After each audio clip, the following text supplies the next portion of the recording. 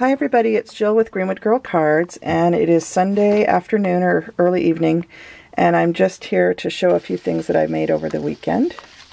Um, I got a new Sizzix snowman die. It's a design from BasicGrey and I made this shabby chic little snowman. Let me get a piece of paper to put in here so they're easier to see. Slip a piece of paper underneath this. Here we go. Okay, sorry about that. Um, so there's actually two different snowmen in this die, in this Sizzix die. And so I made some baby snowmen and then some slightly bigger ones. And I still haven't quite decided what to do with the eyes. I used some charcoal pencil on some of them. Um, so you can kind of see their smiley face. But I think I might put gems over the eyes or something. I just haven't quite decided, found what I like yet. Or I might just put paper behind them. Um, but anyway, so those are the start of those. And th these are just little um, hang tags that you could use on a gift. And they have they're each holding a little wire um, candy cane. And that's a little bag of wire candy canes that I found at the thrift store. Um, so, and this is again using that paper from Arala shop on Etsy. So I made those. Um, and I actually made some bigger ones too that have mittens and stuff, but I gave them as a gift already. And I have a picture of them, but I didn't do a video. So I'll have to make some more so I can show them in a video. But anyway, and then I finished this set of trees. So these are my tree tags again. Um, and then they have a to and from on the back and I made about seven of those. So I have a whole pile full of these tags. And I used um, seam binding up here. This is red seam binding. I just buy a huge big roll of it every year for Christmas and um, to make all my tags. And then some little brown twine uh, little tags that are also edged in brown ink. And then this is a mercury glitter um, by Stickles. And I just put that on and let it dry and then this is again that Peaceful Pinecone stamp set from uh, Papertrey Ink. And then the um, paper is from Amuse Studio and it has the Twas the Night Before Christmas story on it. So there's a whole set of tags. And I'll set those aside. Um, and then I made a whole set of these tags, which feature that reindeer that I showed you the other day. And this is how the tags turned out. This background die with the little scallops on it is from Cheery Lynn Designs. And they just did a new release the other day with um, more of these typed of scallop dies in it.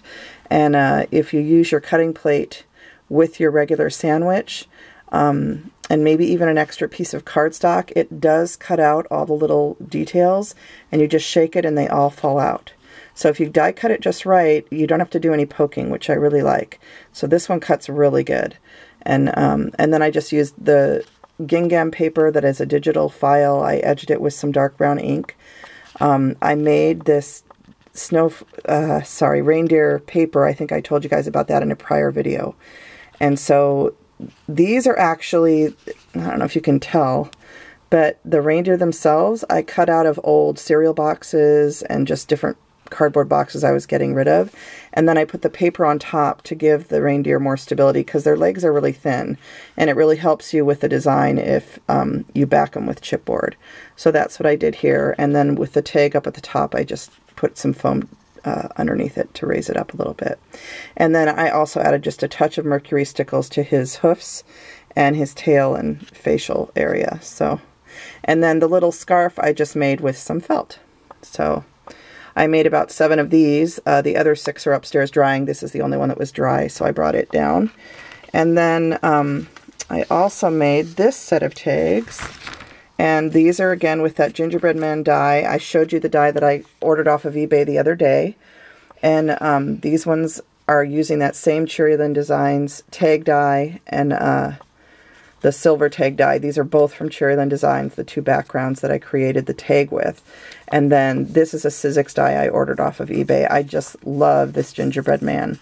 And the little white that you see, this is white ink edging him, but this is a chalk pencil and it's an art chalk pencil that you need you need to get it at a good art supply store.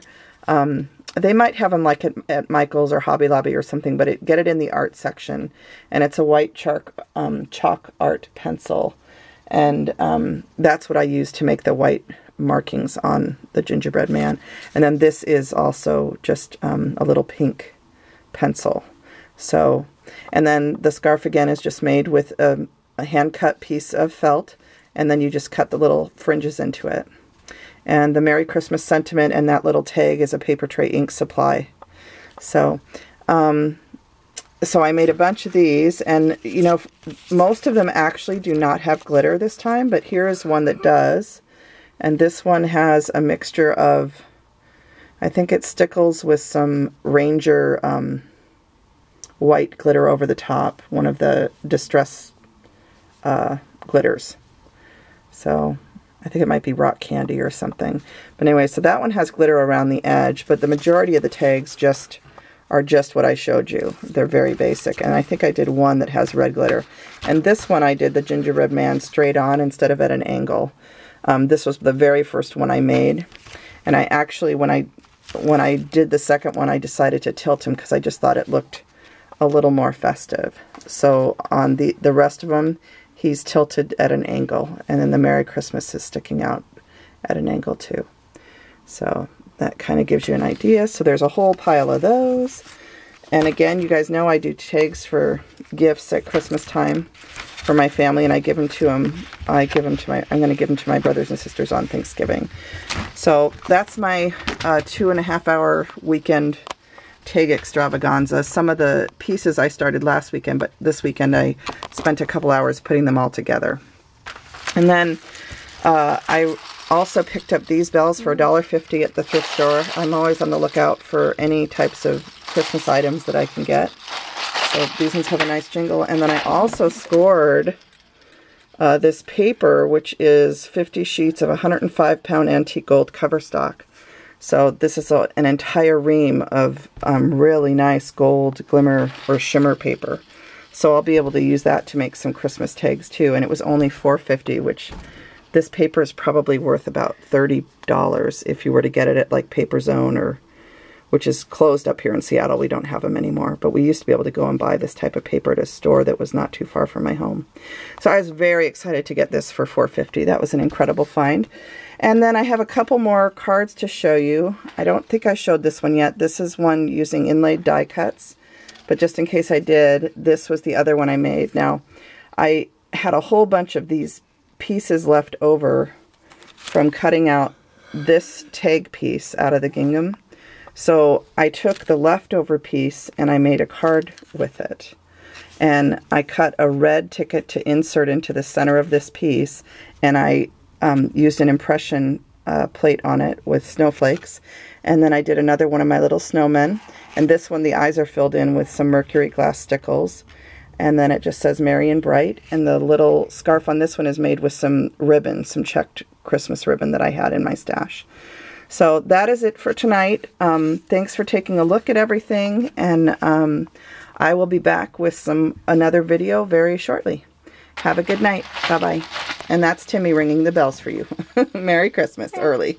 Bye.